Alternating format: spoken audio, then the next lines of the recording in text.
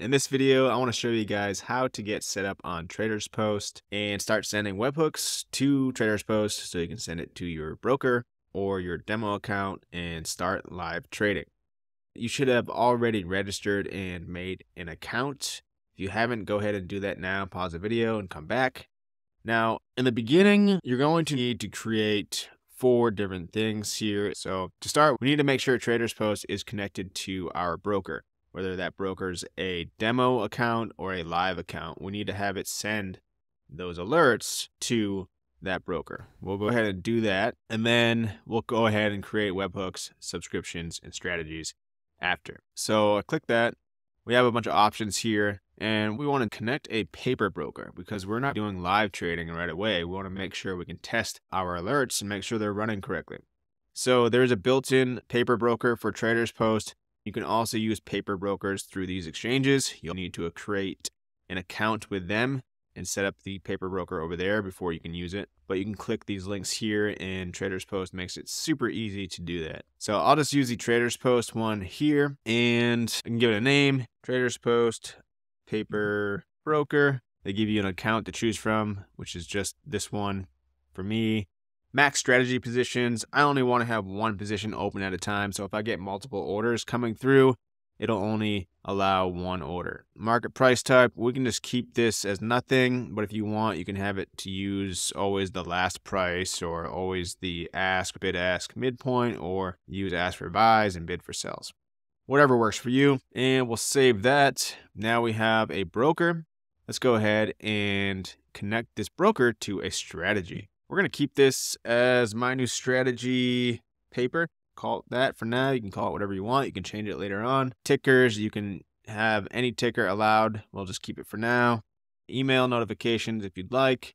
Security, you can limit this to TradingView. You can also have it go to TrendSpider. You can also limit it to IP addresses. So there's some good security in here and we don't need to worry about that. So that is going to be a strategy. We're going to save that. And that's so people on TradersPost can go ahead and copy this strategy later on. So now we have a strategy set up. We also need to make sure that our webhook is set up. It should automatically create when you create the strategy. So you see here, webhooks are connected to my new strategy paper. Now you can view the webhook here. You can see the security features, email notifications, the tickers, and what strategy it's con connected to. This is going to be the alert syntax we're going to use for our alert. You can copy the webhook URL or generate a new one if you've exposed yours. Let's go to subscriptions. Now, this is where we enable our strategy and get it started. So we need to subscribe to our strategy. We just need to enable this strategy subscription to get it going. Once you click that, You'll come into here. This is the subscription. I've subscribed to my own strategy and you want to click auto submit. When you receive an order from TradingView, it's going to automatically take those buys or sells. If you don't click this, then you're going to have to come in here and accept the order. Then it won't be automated trading. You want to change this to both sides, bullish and bearish if, you, if you'd like. And then you can check out these details. I won't go through all of this. Later on, if you want, you can switch this strategy to a live broker. Right now, we only have the paper broker set up. Notifications, tickers, asset classes, stocks, options, futures. You can even set a trading window in here, which is kind of cool. Uh, you can do that in Pine Script, obviously, but if you don't want to code that in, it's set up right here already. Same thing with position size. I like to do a default of 1% for position size, but you can also send that position size over with the strategy signal. If that is set, then it's going to use it. If not, it'll go back to the default. Same thing with canceling orders. If you have an open limit order and you get a new signal, this will automatically cancel the orders so you don't have resting, take profit, and stop losses on the order book. If you disable that, then it won't cancel any of your orders. Entry orders, by default, they'll be set to limit. You can change that to market or just keep it whatever you'd like. And then we're going to be using these signal order types from our TradingView webhook. All of these settings can be overridden by our syntax we'll be sending through the alert but you do have more control for defaults over here, which is really cool. So I'm just setting all the defaults on here just in case I miss sending something. Time and force, we can do good for the day, good until canceled. I usually like good until canceled. Exit market type, doesn't matter. To me, take profit percent. Let's just set this to 5% uh, as a default. And then for the stop loss, we'll do the same thing. Stop loss percent, 5%, and we'll we'll keep it simple for now. We'll do a stop market. Once it goes beyond 5% of our entry, it'll close out the position. Retry trades that fail during trade planning, we'll keep that off. Make sure you hit save on this. If you have any errors, it's going to let you know. The TradersPost paper broker does not support take profit orders. If we use a different paper broker, maybe it does. So we'll have to take this off. Go ahead and save it again and just set that to empty. All right. Now it's saved. We just need to click enable right here. Now this is ready to go we just need to grab our webhook, which was under subscriptions or webhooks, and we can do view right here, copy that, and then come over to TradingView. And of course, we need some kind of strategy. Now, I just grabbed the strategy that we coded up in a previous video. It's the 50 pips a day Forex strategy. It's not the most profitable strategy. I'm running on, on Solana right here, and it's not doing too well. But I wanted to use this because it's going to open and close trades pretty quickly, so we'll be able to test it out. So how do we set this up? Well, it's actually pretty simple. All we need to do is go into the alert here and set the alert on this. So I'll come to the settings first and I'll go to the webhook URL and this is where I'll post the webhook that I just created. And I can just create this and I'm getting an alert. And that's the alert condition that's sending. Now it's sending that to the webhook, but that's not the correct syntax. We also need to send the correct syntax that TradersPost is going to need in order to translate that to the broker. And that right here, here's a sample of what we can use. So this will actually work for us. Ticker, action, sentiment, quantity, price, and time. There's tons of examples. We'll just copy this and we'll see what it looks like. So I copied that. Let's create another alert. The condition is not going to be crossing of the price. It's going to be the indicator, the 50 pips per day. In the message, this is where we're going to write that code we just copied right here. We need to make sure that this is exactly as it is because this is a specific format that is going to be digested on TradersPost. And then they're going to take the ticker this will translate to the ticker that we're on. The action is going to translate from the strategy action. And because this is a strategy, it's going to take this. If we go long, it's going to say long here. If we go short, it's going to say short. Same with the market position and the quantity. It's going to send the actual amount. We're not setting quantity in here, but this will be calculated based off of the property settings. Same with the price. It'll take the price of the close and the time. Okay. So let's set that now we have to wait.